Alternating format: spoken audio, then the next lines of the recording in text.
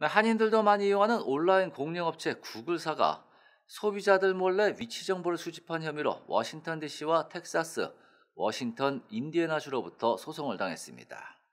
네, 워싱턴 DC와 세 개의 주 법무장관들은 구글사가 사용자의 위치 정보를 추적하기 위해 기만적인 방법을 사용해왔다며 소송을 제기했습니다.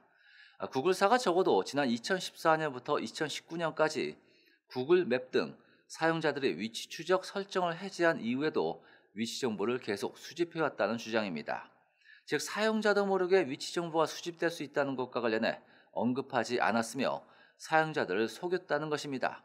자, 구글사는 즉각 반박했습니다. 구글사 대변인은 우리는 항상 제품에 사생활 보호 기능을 탑재했고 사용자들에게 위치 정보와 관련해 확실한 통제권을 제공했다고 강조했습니다.